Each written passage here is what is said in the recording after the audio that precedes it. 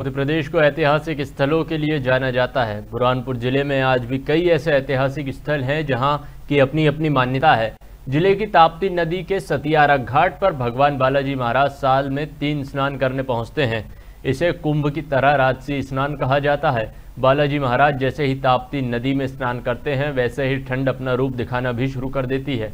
बता दें कि ताप्ती नदी के सतियारा घाट के पर तीन दिवसीय मेला प्रारंभ हो चुका है। जिसमें मध्य प्रदेश, गुजरात, महाराष्ट्र, राजस्थान सहित अन्य प्रदेशों के भक्त पहुँच रहे हैं। शाम मेला स्थल पर डांडिया रास का आयोजन भी होगा। बता दें कि 400 वर्षों पुरानी परंपराओं को बालाजी उत्सव समिति द्वारा आज भी नियम अनुसार मनाया जाता है। चौदह दिवसीय इस बालाजी उत्सव में बालाजी महाराज 10 दिनों तक भक्तों के घर पहुंचकर उन्हें दर्शन देते हैं।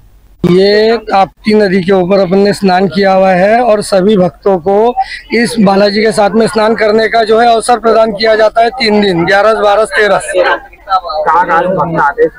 सभी दूर से सभी स्टेट से महाराष्ट्र से गुजरात से सभी राज्यों से जो है यहाँ पर जो है भक्तगण आते हैं और ये तुम्हारे स्नान का जो है अवसर प्राप्त होता है उनको। कई सालों से कई वर्षों से बालाजी महाराज का मेला लगता है हाँ, और बहुत भक्तगण आते हैं दूर दूर से और हम भी आकर आज लाभ लिया आनंद लिया तीन दिन का मेला रहता है यहाँ पर। तो सभी भक्त लोग आके आनंद लेते हैं। क्या स्नान किया सब हाँ सबने किया बालाजी महाराज